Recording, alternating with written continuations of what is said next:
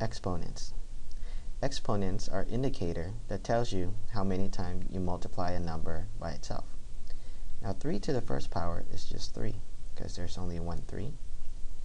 3 to the second power is 3 multiplied by itself and the 2 indicates that there are two 3's. So 3 times 3 is 9.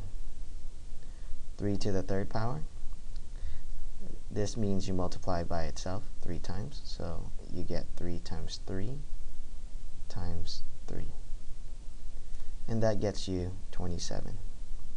One important thing to remember when dealing with exponent is when you raise a number to the 0 power, it's always going to be 1. So 3 to the 0 power is 1. And let's do another example. 5 to the 0 power is also going to be 1. So regardless of what number, you're always going to get 1. And this completes our review on exponents.